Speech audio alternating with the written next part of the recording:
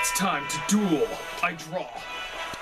I summon Obelisk the Tormentor!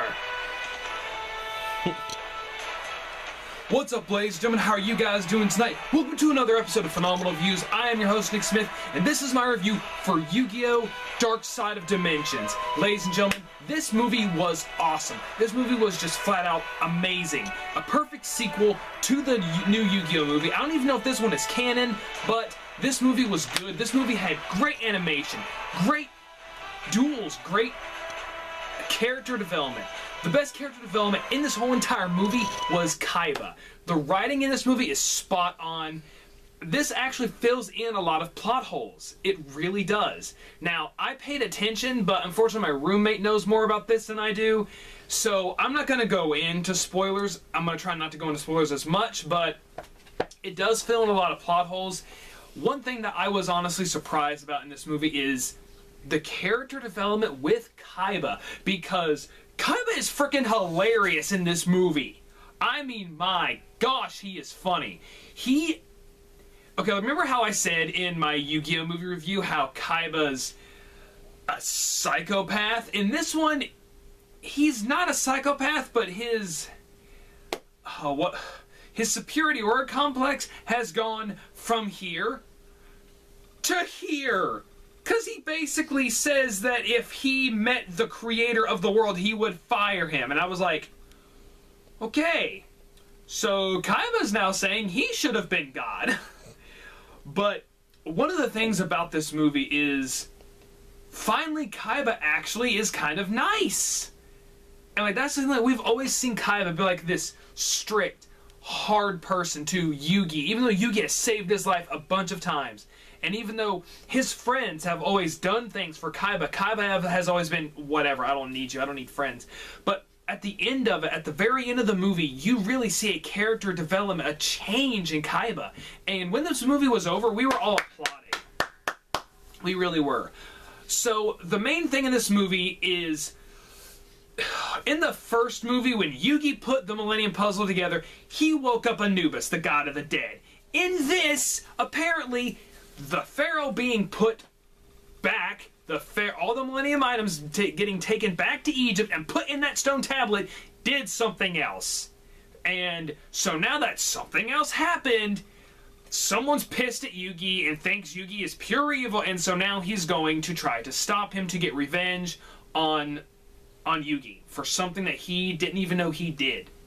Another good thing about this movie is they actually did have the characters grow up. Yugi and all of them, Yugi is taller. Yugi has broader shoulders, as someone told me, and a lot of the characters look like they have aged. They don't really sound that much different. I did not like Duke Devlin's voice, so that would honestly probably be one of the only things that bugged me. Mokuba didn't get captured, so there's a, there's a thing. But like this movie just this movie's more about Kaiba than it is Yugi, and like like you just see all the stuff that Kaiba has done in this movie. He has he has a satellite in space. Of course, he has a satellite, and of course, satellites are in space. But like he has one space, he has a space station that is pl- that's basically it goes from Earth to freaking space.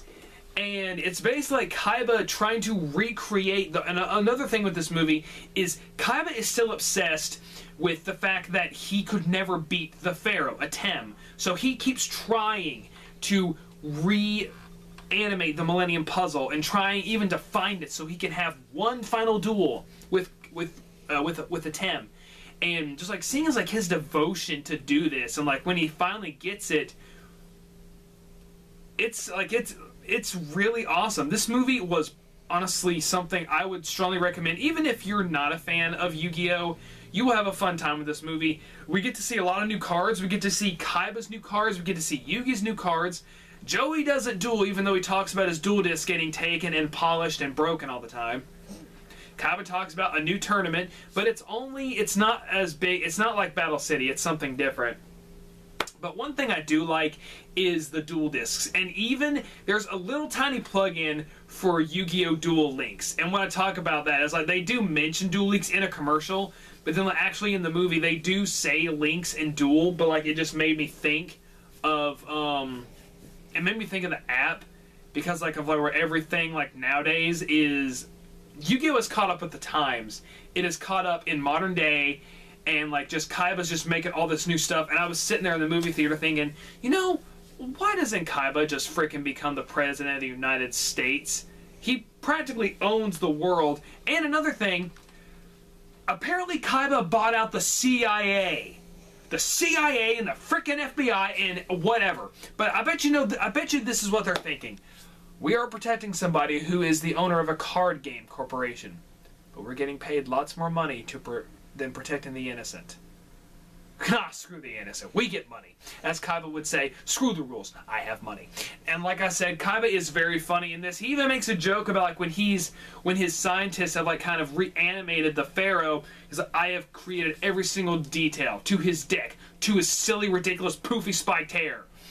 There was so many people laughing in this movie theater. This movie was awesome. It was such a fun ride. I got Obelisk the Tormentor and other people got Slifer the Sky Dragon. They did not have Ra, but that is because Ra is not in the movie.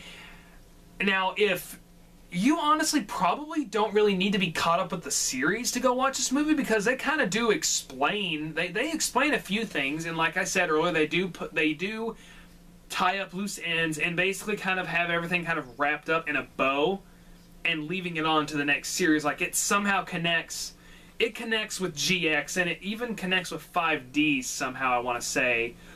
But this movie had a phenomenal start, a phenomenal ending, and it had some emotional moments too. It was a really good film. I didn't honestly think it was going to be this good, and I've seen people saying Yu-Gi- the Yu-Gi-Oh movie is awesome. Guys, this is honestly right now my contender for movie of the year, my favorite movie of the year. Guys, Yu-Gi-Oh the movie Dark Side Dimensions gets an A+. plus. The only thing I would say that I really did not like was the fact that I just didn't like Duke Devlin. And even though like they say it's the same voice actor, I did not like the voice of Duke and I did not like the the look of Duke. I just didn't like it. It just didn't look good. To me it didn't. It just looking at Duke I was like, "Oh, please get him off camera. Please get him off camera. Please move. Please move. Oh, praise the Lord."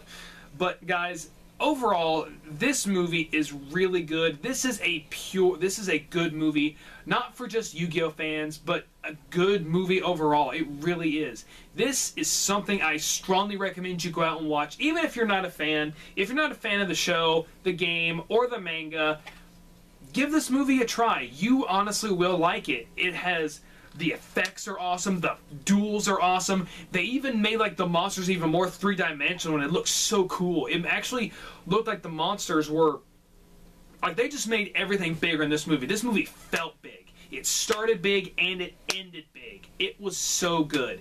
Guys, this has been another episode of Phenomenal Views. Put in the comments below if you did watch this movie, what do you think? What is your favorite Yu-Gi-Oh anime? I strongly want to know. I really do. And guys, thank you for watching this video.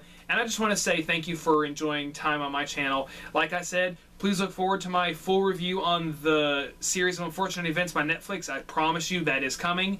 Uh, another video is going to be coming. I'm almost done collecting something that I know you guys are going to enjoy. I cannot wait to share it with you. Guys, get your decks ready. Get your cards ready. And even go get a duel disc. Because, guys it's time to duel. Have a good day, guys.